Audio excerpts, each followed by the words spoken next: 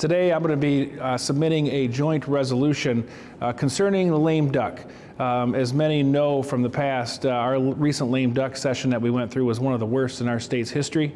Uh, a lot of uh, bad legislation, in my opinion, went through, but um, maybe more importantly, is just a lot of stuff went through without being properly vetted. So my resolution will simply say that uh, from now on, when we go into a lame duck session, to pass anything is going to require a two-thirds majority vote instead of the simple majority. And in my mind, that's going to allow us to keep our state government open for business, but at the same time, make sure that it's bipartisan legislation that's passing.